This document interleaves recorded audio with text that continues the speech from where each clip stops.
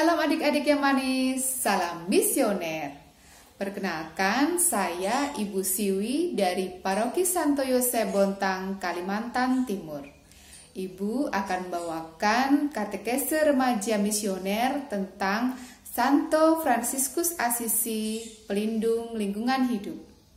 Yuk kita dengarkan bersama-sama kisahnya. Sebelum kita mendengarkan kisah tentang Santo Fransiskus Assisi, tahukah kalian jika Santo Fransiskus Assisi adalah santo pelindung lingkungan hidup?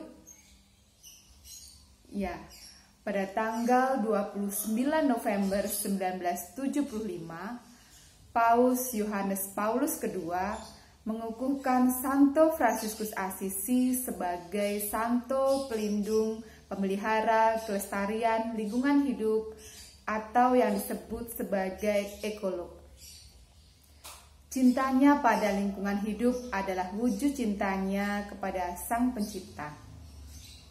Ada banyak kisah yang menceritakan Santo Fransiskus Assisi dapat berkomunikasi dengan binatang-binatang dan menyatu dengan alam serta semua ciptaannya. Berikut adalah kisah-kisah Santo Fransiskus Assisi.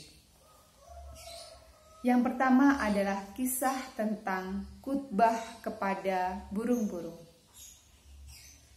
Dalam kisah ketiga sahabat, dikisahkan pengalaman unik Santo Fransiskus Assisi.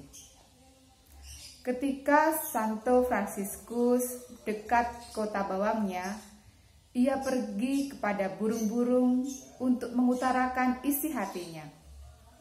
Katanya, Saudara burung, Sang Pencipta telah menganugerahkan banyak kebaikan kepadamu. Ia telah memberimu bulu-bulu yang indah dan sayap-sayap supaya kamu dapat melayang dan terbang. Sang Allah yang Maha Baik melindungi keluargamu Mendengar lentingan orang suci itu, burung-burung itu tidak takut. Mereka mendengarkan dengan penuh perhatian. Kisah yang kedua adalah tentang kelinci yang terperangkap.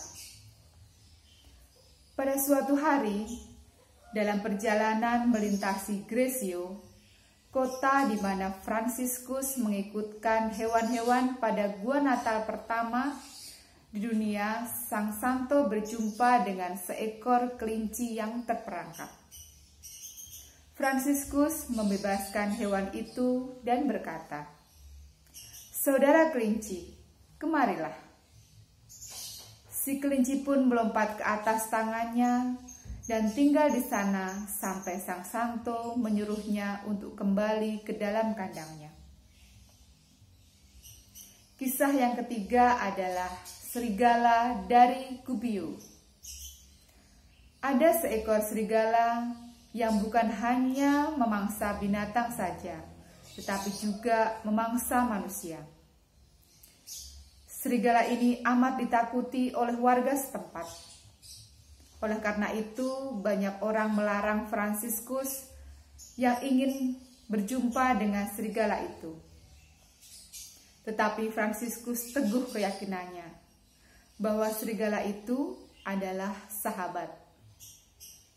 Ketika serigala itu melihat ke arah Fransiskus, ia pun menyerbunya dengan cakar-cakar yang terbuka.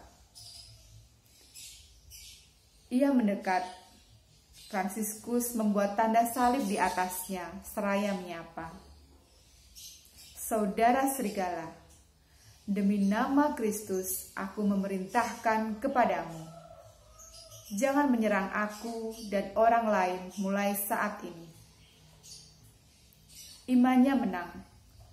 Serigala pun taat kepadanya.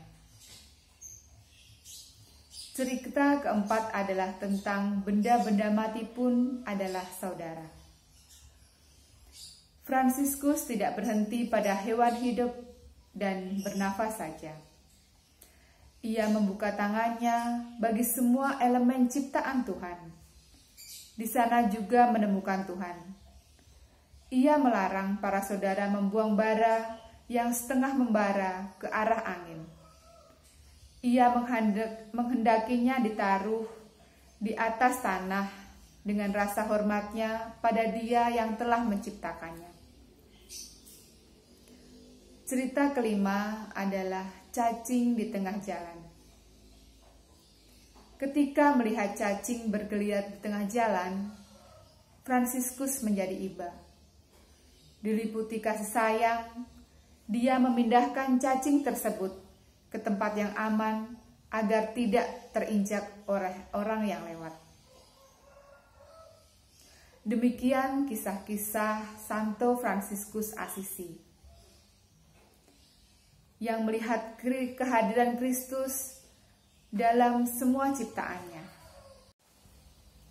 Nah, adik-adik, tadi kalian sudah mendengarkan katekese remaja tentang Santo Fransiskus Asisi. Semoga kisah-kisah Santo Fransiskus Asisi menginspirasi kita untuk memelihara lingkungan hidup sebagai bentuk cinta kita kepada Sang Pencipta. Terima kasih, berkah dalam. Five, four, three, two, one,